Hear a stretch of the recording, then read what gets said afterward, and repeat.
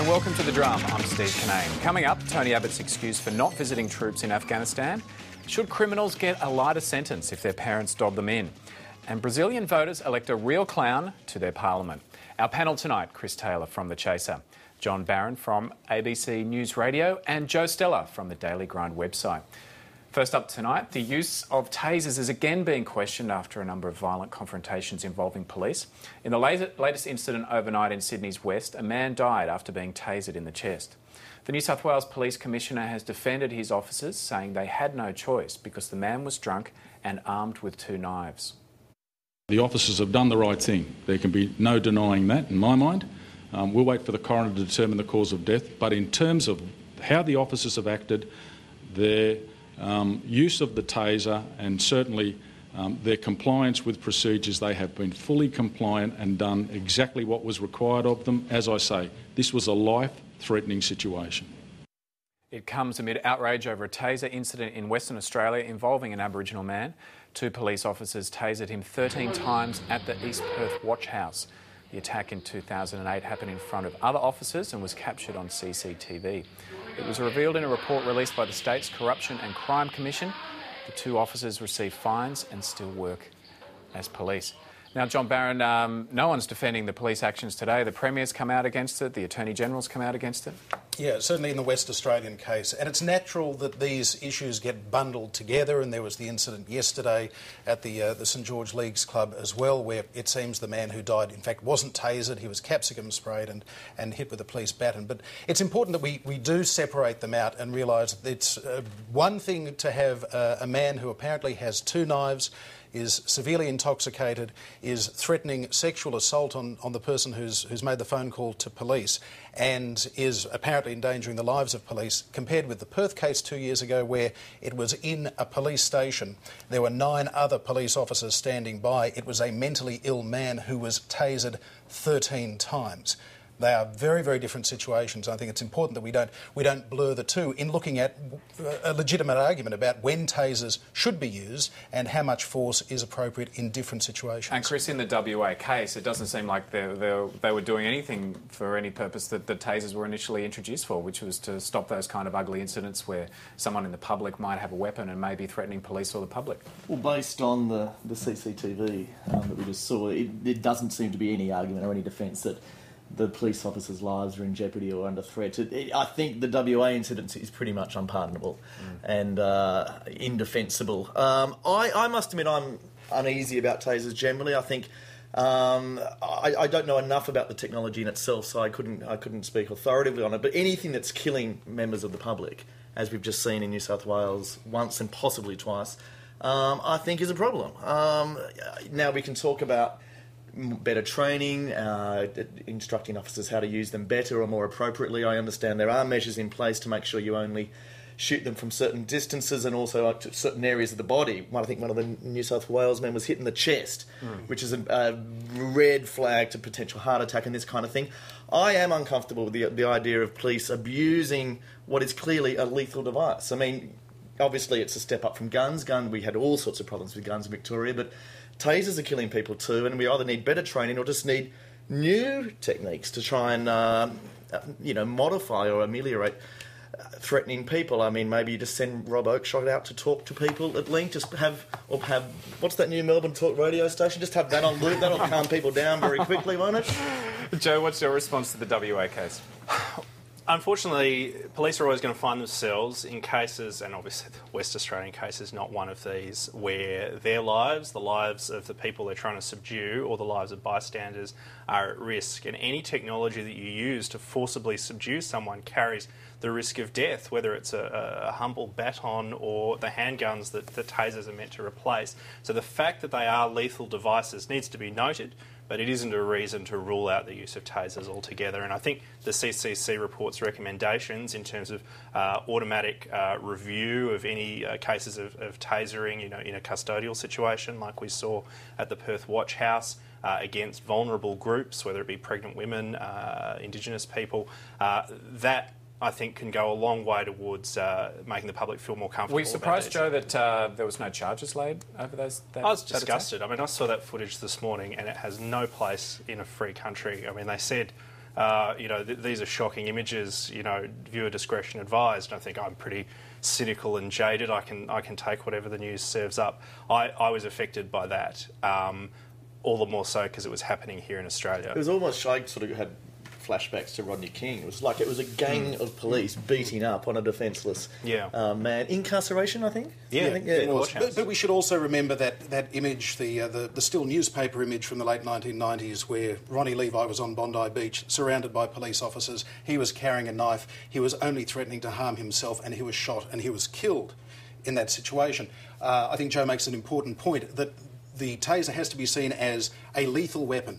The, the, the designers refer to it as a less lethal alternative to the service revolver, but it has to be seen in that context and it has to be used in that context as an alternative to shooting somebody dead. There, they've been deployed a couple of million times, tasers, around the world. There have been a couple of hundred deaths associated with it, less than 50 that have been coroners have said, yes, that is the reason why this person had a heart attack and died. So we need to say these are not to be used as you would use a baton or a capsicum spray. This is to be used instead of shooting the person dead. There is still a chance they could end up dead, and that's a tragedy. And John, that But seems to be what's lives. happened in New South Wales case. If, if, if we're to believe what the police have said today, and, the, and the Commissioner Andrew Scipione has said that in the instance that, where a man died overnight, that he had two knives with him, that he was believed to be drunk, and that he was within two to three metres of the police. Now, this is one of those classic situations where it would seem that taser use would be justified. Of, of course, and, and yet we also have to bear in mind in a huge number of these cases where, where people are shot and killed by police, they're behaving irrationally, often because they're mentally ill, or if they're not mentally ill, it's because they're undergoing a, a, a psychotic episode because of methamphetamine use. In so many cases, police, as well as looking at how they, deploy tasers, should also be looking at how they deal with people in those situations so it doesn't escalate to the point where they can say, well, he's coming at us with a knife now, we can shoot him, whether it's with a gun or with a taser. Is there is there anything though in between capsicum spray and a taser? Because like, well, like when, you- when you call a, a taser a less lethal alternative, it sounds Yep. to me like all Orwell sort of news speak. It's, Yep. it's still a lethal weapon. It's killed. Yes. It's Yep. killed several times. Yep. Um, But so is what- capsicum spray. People are have had asthma attacks from They cap- have. Capsicum what, spray. what are what other tools are being tried? The extended baton is another thing that was a key recommendation after another case about six years ago in New South Wales was the idea that you want to have a device that you can subdue somebody by breaking their kneecaps essentially, but from a safe distance so that they can't get at you with a knife if they're coming at you. So that is another alternative. It was a, an alternative that was deployed on, uh, on Sunday night at the St George Leagues Club, as was capsicum spray. The guy ended up dead all the same. It's not an easy issue because obviously the protection of our police is paramount, and yet I do feel like there's a sort of little civil libertarian inside of me that gets really angry every time I see a citizen, often a, mentally unwell citizen, killed because of these instruments that the police are carrying. And all I can suggest, I'm not pretending the situation was easy the other night, but there does seem to be an issue with training and the correct use of Well, what new- is a lethal weapon. The New South Wales Ombudsman came out today and said that the vast majority of officers use uh, tasers appropriately, and it was interesting to see to the WA Corruption and Crime Commission report found uh, percent, potential misuse was only involved in 7% of cases between 2007 and 2009. So it does seem that the misuse is uh, less likely to happen. Well, the good thing is that a lot of tasers, and this, this should be a general thing, uh, are fitted with cameras, which means that um, people who are impartial observers can then review the actions of police. In, you can't in do. three states, it seems That's right, and this Yeah. is something that should be rolled out further. Um, but that's something you don't have with handguns or batons, where the police can say, "Oh, he had a knife." Well, we'll take, we'll take up this issue with uh, barrister and author Greg Barns, who's going to join us at 6.30, who's written a pretty provocative piece on the Drum website. That's uh, coming up soon. Well, Tony Abbott continues to cop flack over his decision to forego Julia Gillard's invitation to visit Australian troops in Afghanistan. The opposition leader claimed he was worried about being too tired for the Tory party conference in Birmingham and his meeting with British PM David Cameron. I thought it was important uh, to do this trip justice, and uh, I didn't want to get here uh, in an entirely jet lagged condition, and uh, so uh, I'm in a position to uh, make the most of this opportunity. Chris Taylor, do you find it hard to believe a man who can uh, do the Port Macquarie uh, marathon triathlon in 14 hours uh, would be suffering No, from no, jet lag? look, I, Tony's not good sitting down in play. He would have been fine if he could swim to Afghanistan, because then his body would be fit, he'd be in good nick. But you know, the, the other thing you've got to remember is David Cameron's a very boring man.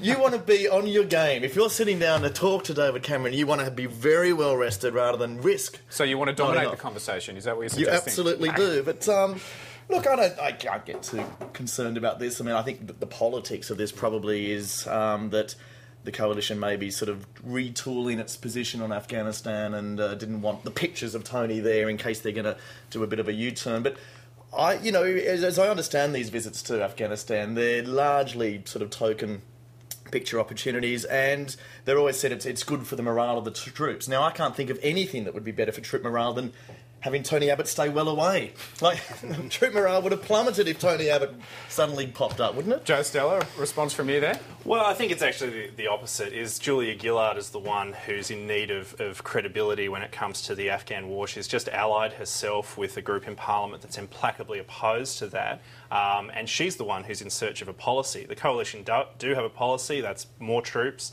Um, more, more support for those troops in Afghanistan. Is there any division among their policy there? Because uh, the front bencher David Johnston came out and said that, but Tony Abbott seemed to be a little bit behind uh, his defence spokesperson on that. I think that um, the Liberals are never going to have a problem with a, a credibility gap on issues of, of national defence. It's one of their core issues, just like health is for Labor.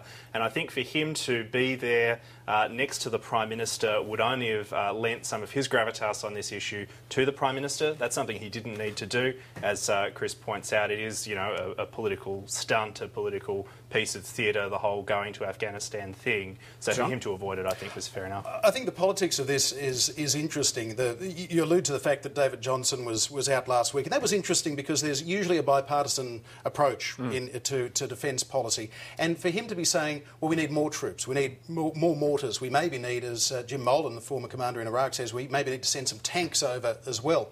I think, in light of that, I don't know, but I suspect that that wasn't well coordinated with the prospect of Tony Abbott going to Afghanistan. There's every chance that David Johnston didn't know, because this was a secret visit or at least an hmm. unannounced visit, didn't know that Tony Abbott was maybe going to be stopping over. It would have looked bad if Tony Abbott had gotten to Afghanistan after what was said publicly. And I suspect the hesitance that you talked about, where Tony Abbott was kind of just, you know, not endorsing David Johnston last week 100% was probably because they'd had a call from the Prime Minister's office saying, well, we're stopping over in Afghanistan, you're coming too. And he suddenly thought, oh, that could look a little bit awkward. And John, there's some suggestion too that perhaps the whole jet lag excuse is a bit of a smokescreen. That perhaps he has organised to go there, um, but he just doesn't want to come out and say when he's going and, and, and what time he's going to be there. if, if he's not planning a, a trip, a stopover on the way back,